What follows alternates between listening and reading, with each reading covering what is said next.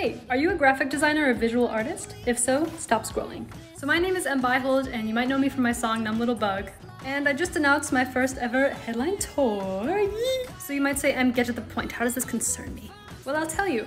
I'm always so impressed by all the fan art that I get tagged in that I thought, why not hold a little merch design competition for a shirt that's gonna be sold on my tour?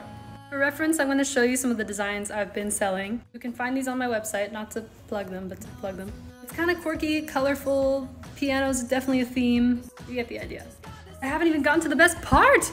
Winner will receive a cash prize and also two free tickets to my show in the city of their choice. The deadline is November 15th and you can submit your design using the link in my bio. And then November 16th, I'm gonna hold a poll on my Instagram story with my top three favorite designs. Everyone's gonna vote, and that's how we're gonna choose the winner. Anyway, sending you a lot of love and can't wait to see your designs.